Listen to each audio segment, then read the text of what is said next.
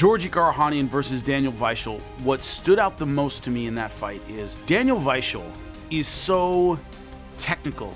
He's so tight. He's so economical. He can hit with a lot of power, throws great combination, can finish you on the feet or on the ground, but doesn't give his opponents an offensive opportunity. The one thing I remember the most in that fight was Georgi Karakhanyan's frustration. Was Georgi going, hey, come on, come at me, bro, trying to get Weichel to be emotional, trying to get Weichel to do something stupid, trying to get Weichel to open up and be overly aggressive to let him tactically back in the fight because it was a shutout. Daniel Weichel was landing combinations, he was throwing effectively kicks, punches, putting everything together well.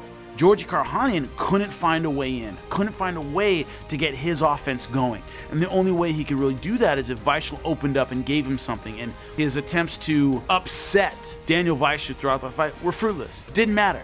Didn't do anything. Daniel Weichel's not going to change his game plan because of his opponent, and he walked away with a unanimous decision. It was a win against a guy in Georgi Karakhanyan who had choked out Bubba Jenkins, was in line for a title shot at 145, and he couldn't get past Daniel Weichel couldn't get past his technique, couldn't get past that defensive ability.